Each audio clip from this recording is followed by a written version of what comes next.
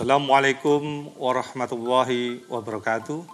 Salam sejahtera bagi kita semua. Ayah bunda yang saya hormati, anak-anak yang Bapak banggakan dan cintai, di masa pandemi COVID-19 kita dituntut untuk dapat beradaptasi dalam semua hal, termasuk dalam sektor pendidikan.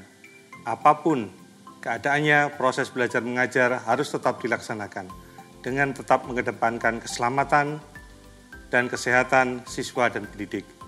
Agar tidak terjadi learning loss, perlu diadakan strategi proses belajar mengajar yang baik, sehat, dan selamat. Salah satu model penyelenggaraan pembelajaran di masa pandemi ini adalah pemanfaatan media pembelajaran daring, yakni pembelajaran yang memanfaatkan teknologi informasi dan jaringan internet yang memungkinkan guru dan semua siswa tetap dapat melakukan proses belajar mengajar, sehingga diharapkan akan mengurangi risiko dan penyebaran COVID-19 di masyarakat, khususnya di lingkungan warga sekolah. Masa taman kanak-kanak adalah masa bermain sambil belajar, serta bersosialisasi dengan lingkungan. Sejatinya, pembelajaran secara daring memang bukan jawaban satu-satunya di masa pandemi COVID-19, dikarenakan siswa tetap membutuhkan stimulasi secara langsung, secara tatap muka, agar proses belajar mengajar dapat berjalan secara optimal.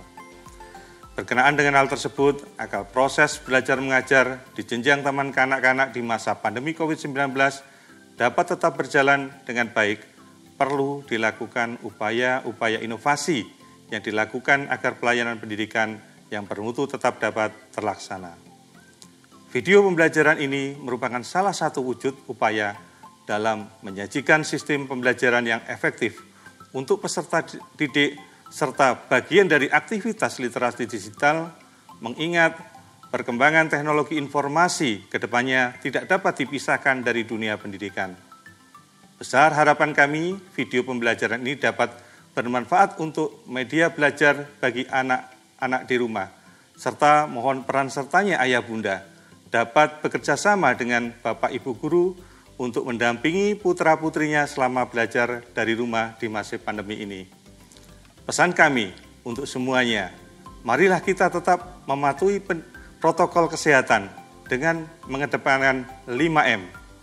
Memakai masker, mencuci tangan dengan sabun, menjaga jarak, menghindari kerumunan, mengurangi mobilitas dengan disiplin melaksanakan protokol kesehatan adalah kunci kita bersama menghentikan penyebaran COVID-19 di Indonesia.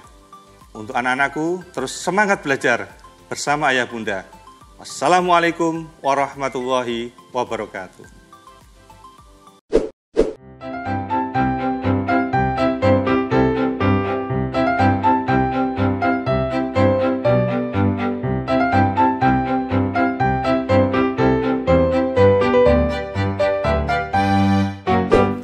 Assalamualaikum warahmatullahi wabarakatuh.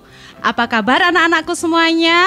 Alhamdulillah, badan sehat, pikiran senang, luar biasa. Allahu Akbar. Yes.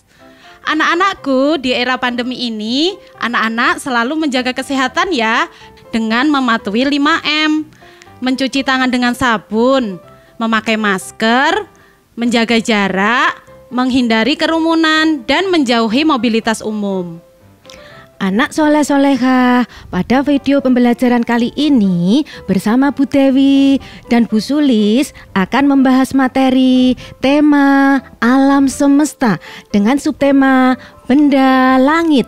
Untuk mengawali kegiatan hari ini, jangan lupa kita berdoa dulu ya. Anak soleh solihah, pasti kalian sudah tahu ya bahwa Allah itu Maha Esa juga Maha Pencipta. Karena Allah yang telah menciptakan alam semesta ini, termasuk juga benda langit. Oleh karena itu, kita jangan lupa untuk selalu bersyukur.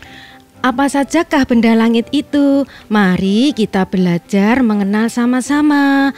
Ada huruf M, A, T, A, H, A, R, I. Iya, matahari.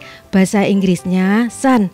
Matahari muncul pada pagi hari, terbit dari arah timur, terbenam di sebelah barat.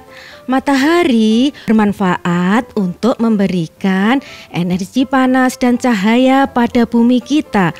Panas dan cahaya matahari dapat digunakan untuk mengeringkan pakaian yang dijemur.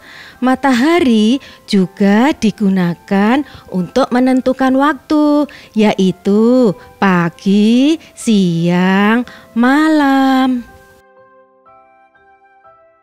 Benda langit berikutnya adalah B I N T A N G. Iya, bintang. Bahasa Inggrisnya star.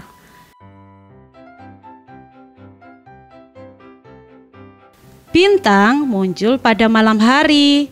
Bintang bermanfaat sebagai petunjuk arah, yaitu arah utara, timur, selatan, barat.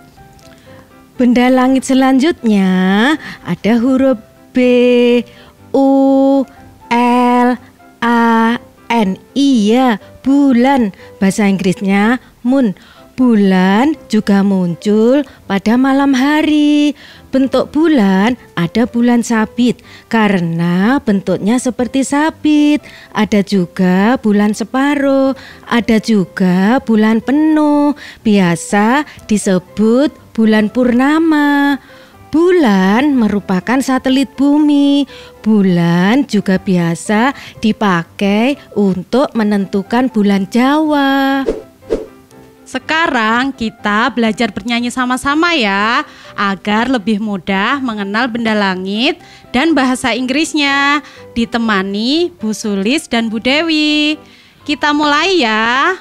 Bulan, moon, bintang, star, matahari itu sun, itu semua benda langit ciptaan Tuhan.